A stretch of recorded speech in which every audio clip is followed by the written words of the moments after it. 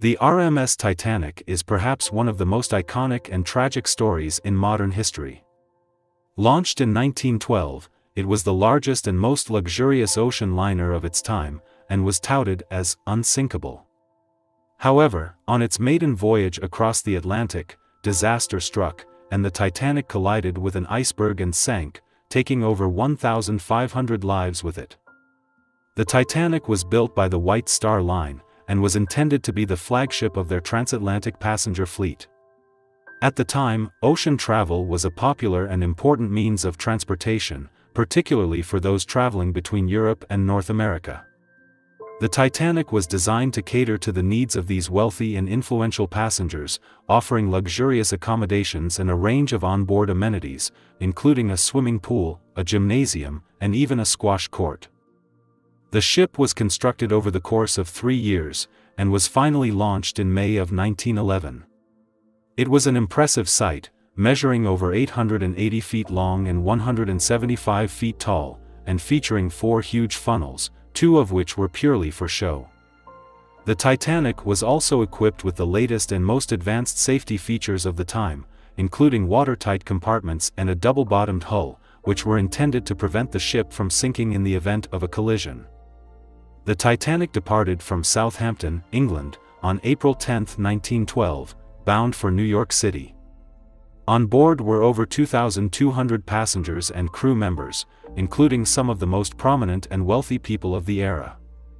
Among them were millionaires like John Jacob Astor and Benjamin Guggenheim, as well as famous figures like Molly Brown and Isidor Straus, who co-owned Macy's department store. The voyage began smoothly, with the Titanic cruising across the Atlantic at a steady pace. However, on the night of April 14, disaster struck. At around 11.40 p.m., the ship struck an iceberg, causing a massive gash along its side. Although the Titanic was equipped with watertight compartments, the damage was too extensive, and water began to flood the lower levels of the ship. The crew quickly sprang into action, attempting to contain the damage and evacuate the passengers. However, there were several factors that worked against them. Firstly, there were not enough lifeboats on board to accommodate all of the passengers and crew, as it was assumed that the ship was unsinkable and therefore did not need to carry enough lifeboats for everyone.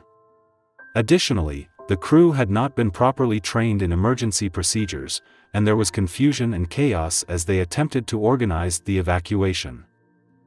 As the water continued to rise, panic set in among the passengers. Some attempted to force their way onto the lifeboats, while others simply jumped into the freezing water. The crew worked tirelessly to launch as many lifeboats as possible, but in the end, only 20 were launched, and many of them were not filled to capacity. The Titanic sank at 2.20 am on April 15, just over two hours after it had struck the iceberg. Over 1,500 people lost their lives in the disaster, making it one of the deadliest peacetime maritime disasters in history. The survivors were picked up by the Carpathia, which had been summoned to the scene by wireless distress signals sent out by the Titanic. In the aftermath of the disaster, there was widespread outrage and grief. The Titanic had been touted as unsinkable, and its tragic sinking shattered this illusion. Many blamed the White Star Line for not providing enough lifeboats or properly training the crew, while others blamed the lack of regulations governing the construction and operation of passenger ships. The sinking of the Titanic also had a significant impact on maritime safety regulations. In the wake of the disaster, numerous changes were made to improve the safety of passenger ships. The International Convention for the Safety of Life at Sea was established in 1914, which set new standards for ship construction, safety equipment, and crew training. Lifeboat capacity requirements were increased, and radio communication protocols were standardized to ensure that distress signals could be quickly and efficiently transmitted. Additionally, the disaster led to the creation of the International Ice Patrol, which monitors icebergs in the North Atlantic and issues warnings to ships.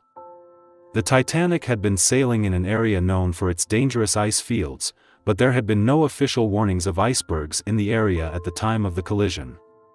The International Ice Patrol was established to prevent such tragedies from occurring again. The sinking of the Titanic also had a profound cultural impact. The tragedy captured the public's imagination and inspired countless books, films, and songs. The story of the Titanic has become a symbol of hubris and human fallibility, and has served as a cautionary tale about the dangers of technological overconfidence. One of the most enduring aspects of the Titanic story is the human element. The passengers and crew on board the Titanic came from a range of backgrounds and represented different cultures, classes, and aspirations. The stories of those who perished, as well as those who survived, are a reminder of the fragility and value of human life. In recent years, there has been renewed interest in the Titanic and its legacy. In 1985, the wreck of the Titanic was discovered on the ocean floor, and numerous expeditions have been undertaken to study and document the site. The wreck has also become a subject of controversy, as some have argued that it should be preserved as a historical monument, while others have called for the retrieval of artifacts and the salvage of the ship's remains. Overall, the sinking of the Titanic remains a powerful and haunting reminder of the risks and consequences of human ambition and technological progress.